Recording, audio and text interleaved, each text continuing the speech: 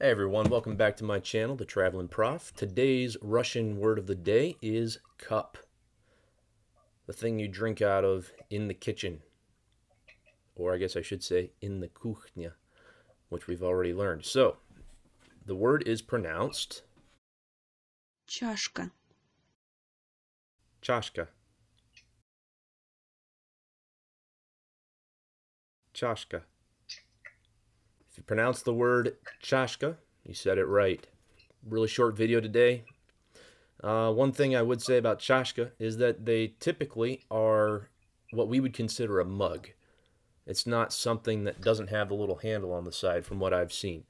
Uh, if I might be wrong, if you experienced otherwise, leave a comment down below. But if you like this video, please hit the like button and subscribe to our channel. We'll release another one tomorrow. We'll see you then. Until then, get curious and start digging.